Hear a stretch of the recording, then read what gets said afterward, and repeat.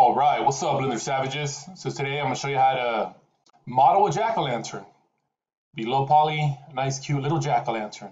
All right, so first things first, the pumpkins, jack-o'-lanterns are not cube shaped, they're more uh, round. So I'm gonna delete the cube there, X key, delete key.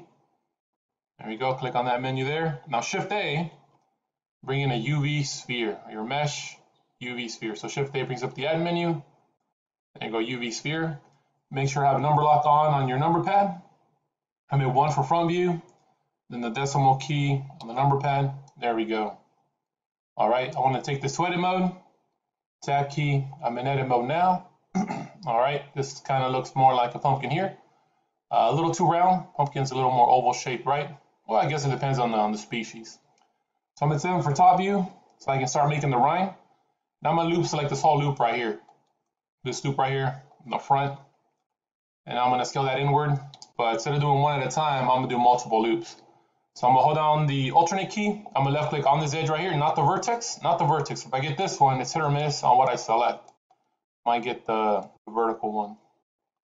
Or I guess that would not be the vertical one. this one here is the one I want. So I'll click on this edge here or this edge down here, anything along that edge right there. Hold down the alternate key and then left click it. so seven on the number pad for top view, now I'm going to skip two and then select the third, skip two, select the third one there. And I'm going to do this from the front first, work my way to the back because these are not uh, divisible by three. Let me show you here. Alternate and shift, skip two, get that one, skip two, get that one. I'm going to go in this direction now, skip two, left click there, skip two, left click there, skip two, left click there, skip two, left click there. There we go, skip two, skip two on that side, skip two there, and skip two there. So this one's odd right there, right? There's not two there, but that one's in the back. No one's gonna see that. Just gonna hide that one back there. All right, so I'm gonna scale these inward a bit. But S for scale, 0.95. And there we go. Looks more like a, like a pumpkin there. Got the rhyme. Now, the this right here doesn't usually uh, go in that much, right? I'm gonna pull those out. So hit one for front view, you hit the number eight. Let's see how many times. One, two, three, four. Four is good. So I hit eight on the number pad four times. So I'm gonna left click that top vertex there. One for front view. And then uh, decimal key on the number pad, zoom and center that. I'll spin the wheel on the mouse, zoom. All right, G, Z, and pull that up to it's flush with the other vertexes there, the other vertices there. There we go. And later I'm gonna pull a stem from there. All right, one for front view, and now I'm gonna zoom out. I'm gonna hit the number two on the number pad so I can see the bottom there. Just hit two a few times. And left click that bottom vertex there. There we go. One for front view, decimal key, center that, spin the wheel to zoom.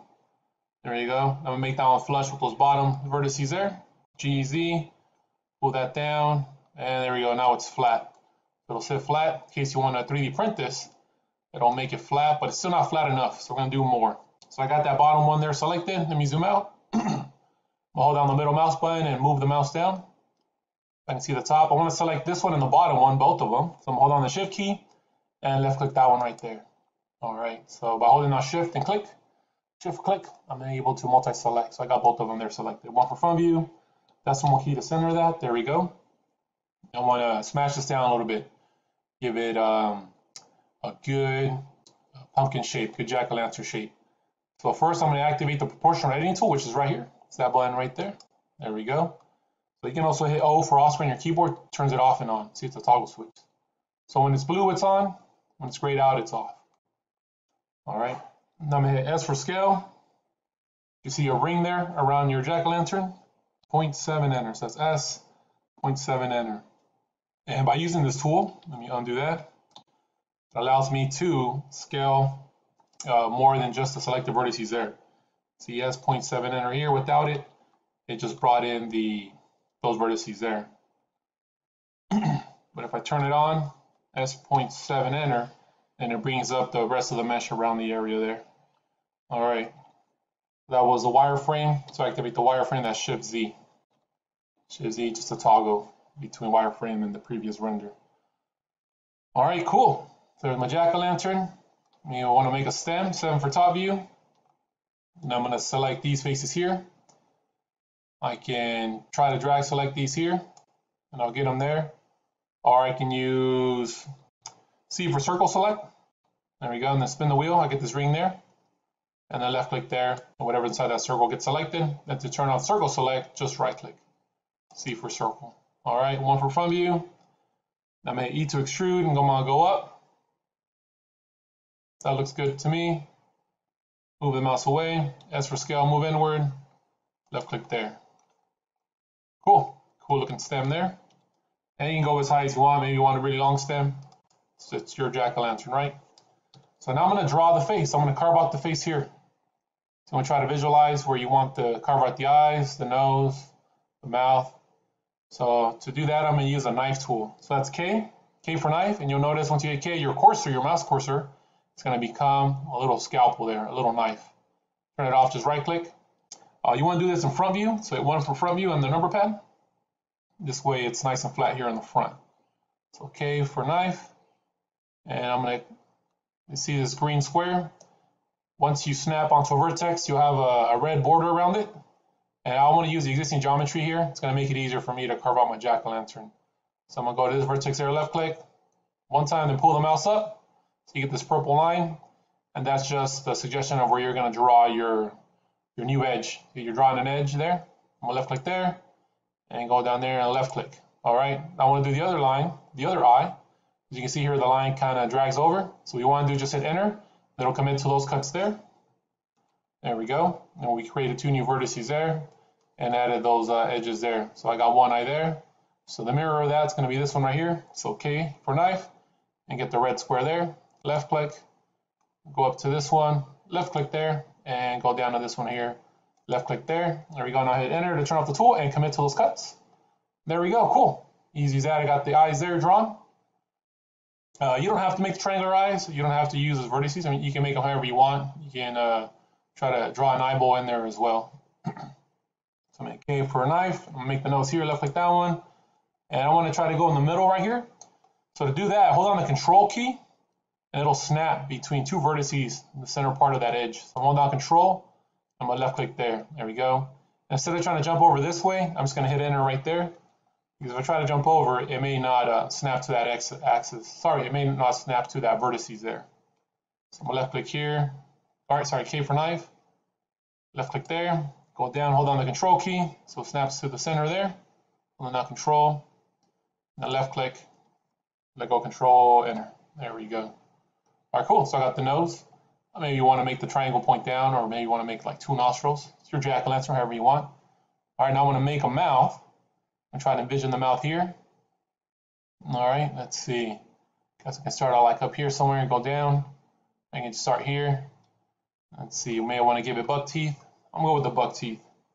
All right, so K for knife. And hold out control, start in the middle here somewhere. Left click there. And I'm going to go down about right there. And then I'm just going to go straight over there.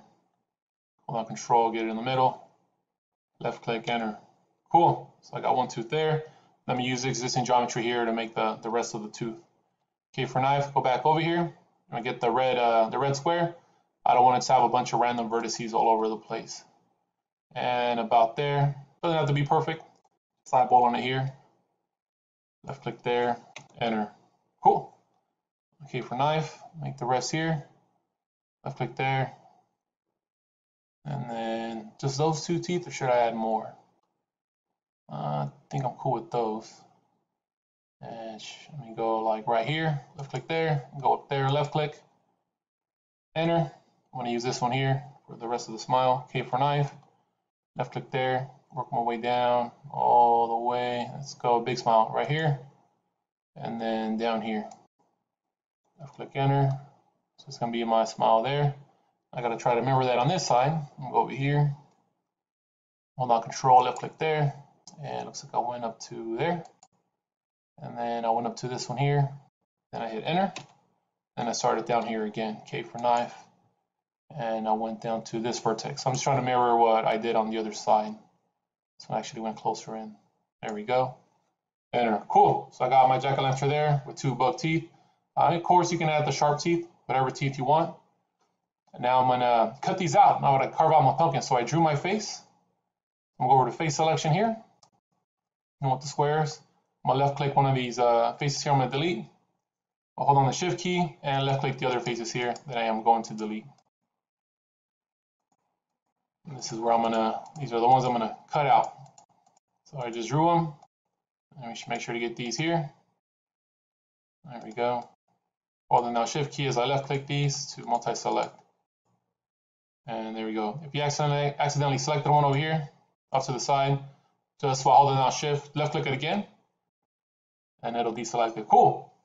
So there we go. Now I'm gonna delete those. So I'm gonna hit the X key to delete and select faces. That way you only delete the faces.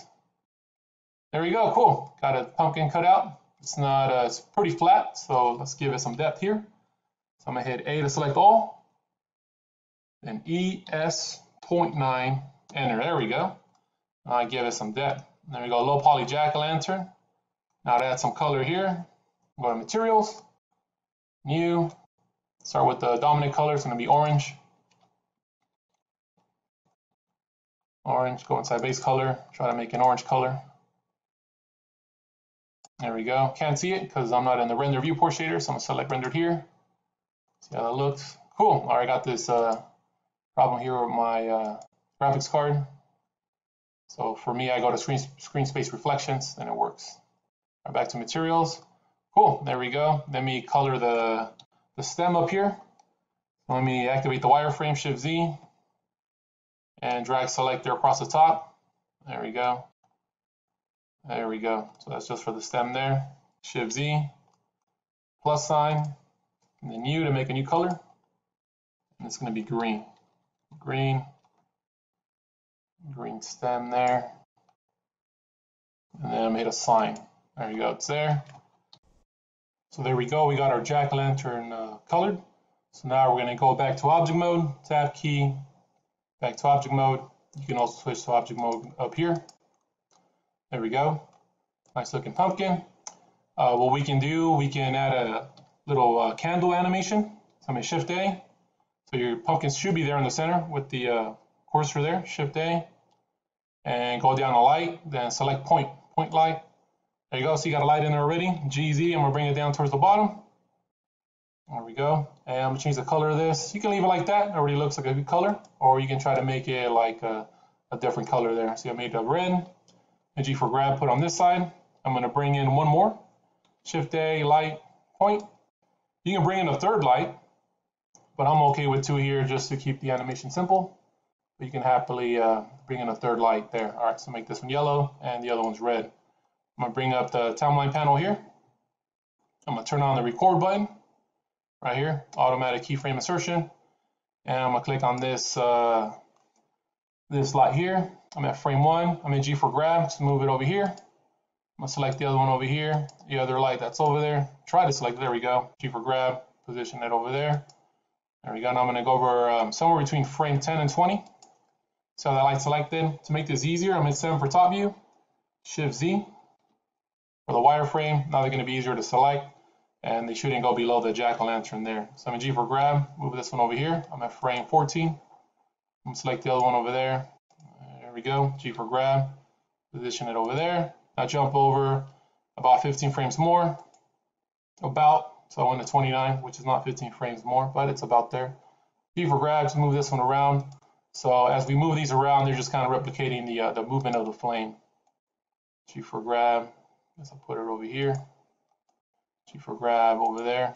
All right, let me see. One for front view, Shift Z for solid. I'm going to frame one. See how that looks. Cool. Let me pause that. Back to frame one. And I'm just going to copy and paste these. All right. So after you animate one of the lights for a few frames, go ahead and select that light. And then down here in the timeline panel, you can drag select the keyframes in there. Or you can, or you can hit A to select all. There we go. So I select them there. I jump over 15, about 15 frames. Have the mouse cursor down here. Control V to paste. There we go and jump over another 10, 15, 20 frames, control V to paste. And I'm just clicking here on the numbers. If you click down here, it's not gonna move, it's not gonna move the timeline cursor, which is that blue marker there. You have to click up here on the numbers. Control V paste, Control V paste. Uh, you can have it go out a bit. There you go. All right, so now I'm gonna select the other one. Uh, I can't see it from here right now, so I'm gonna select it from up here. There we go. I'm going to drag select these there. Control C copy, and go in here, Control V paste, Control V paste, Control V paste, Control V paste. Uh, there's an extra one from earlier, making a, a re-edit. There we go, Control V paste. So I'm gonna go to frame one, click this button here, turn off the record button, hit play. There we go, back and forth. There you go, zero for camera view. Let's make this the camera view there. Control turn to zero. Uh, go to world. You make a darker background here.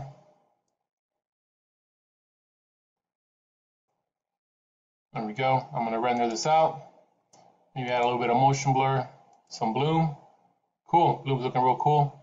Uh, you know what, you can tell there's no candle in there. So let me go to a different view. Something like, like that. Control turn to zero. There we go. It's like the camera frame here.